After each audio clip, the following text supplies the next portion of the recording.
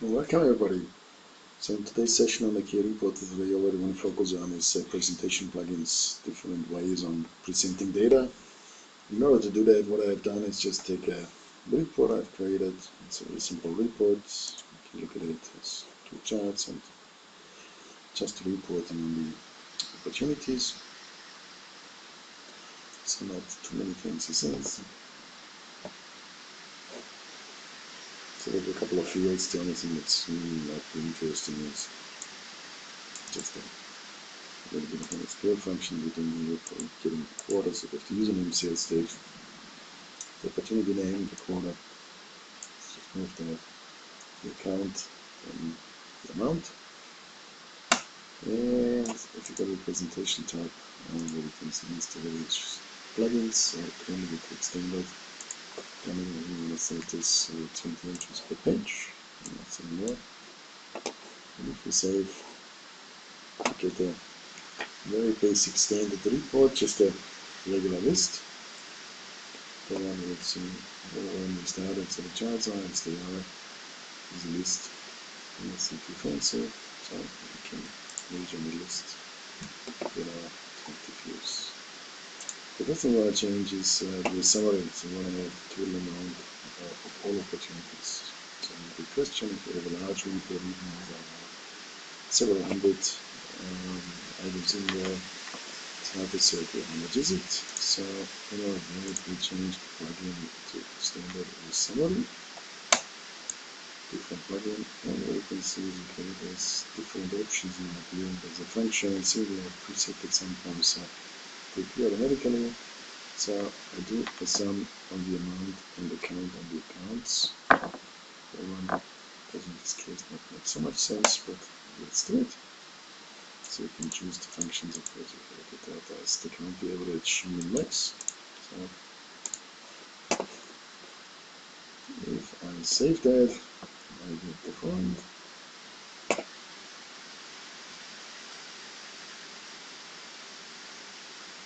Report from a chart's perspective, but now you have a summary line at the bottom of the view um, that says fill 9, so summary records and 1.5 million, which is not only the sum of the amount that's on it's really the total of all the reports. So if you page, that line is still the same. It's calculated requirements and the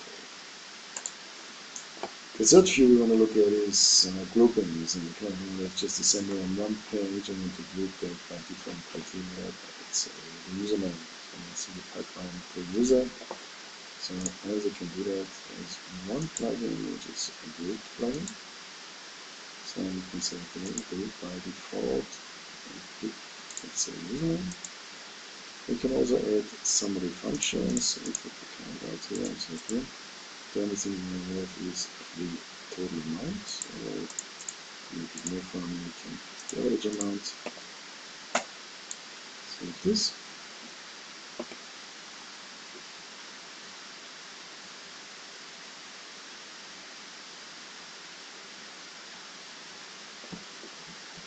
So what we see now is we get a grouped view where we have it grouped by the username, all the fields, and for the amount we get average. Nice thing about this view, you can also change this grouping, for example, say change group by sales stage, it's recalculated dynamically. And the other nice thing about it is also if you export from here, it also has an impact on the exporting functions. For example, export to Excel, X. You see that's the same, so we have a grouping for level, which is our decision maker. We have the various fields with the amounts and zero. That's nice, even if formula X also exporting is not in the down values. So they are nice and properly formatted, and also the functions are considered. That's nice. And of course the same if you export to PDF. Similar here. Um, before we have done it, we have, uh, we'll see just a normal list now broken down by really one block for each of these things turns out of course a new um, um, the good thing about this is it's very flexible. The bad thing about it is um, the rendering and grouping and calculation is done with runtime, so you really need to load all the data, and it's quite heavy on the browser. So if you're dealing with loads of data, um, that might start working with them because of the resources available on local PCs. So in order to manage that, we have another view, and it is a tree view. That's basically navigated and only renders when it needs it. So you can say, okay, we have a tree view. let's move a little bit around. Uh, in tree you can say, okay, until where you group. So you can say, okay, I want to group until the opportunity name. And can also still again functions that I want to count the accounts. I want to have the, let's change this back to sum on the amount. And the tree will be built according to the sequence we have the fields in here, but group until the opportunity name is the last grouping that we have save that, let's see how this looks like.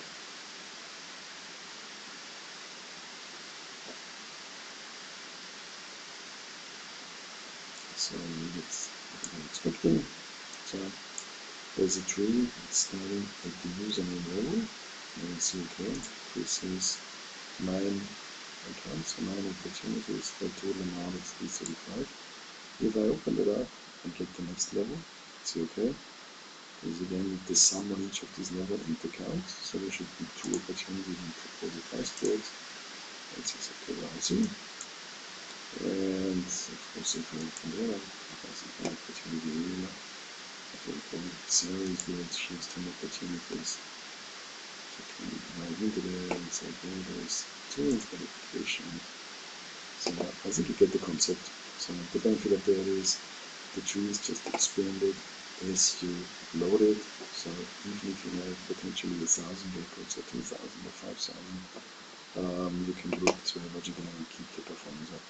So, and last but not least, the last view that's also nice. In many cases, and very common for recording is uh, a pivot grid. So as a plugin for a pivot grid, you can say, okay, change from a tree to a pivot grid a bit more complex in the um, handling. So first of all, we want to define the row should be the stage. And then we okay, first of all, we take the expected test quota, that's the first one, and then we take the username, and then we take the amount. We build the sum of the amount, and then there is always a currency. I need to make a couple of adjustments in the actual totals. We adjust the width, we sort the columns. Do that and save it.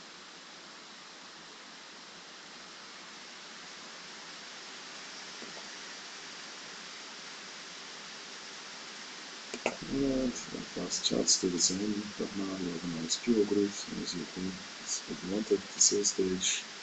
And then we have in the pivot data choose the total for all of the columns, so that's when you select the total.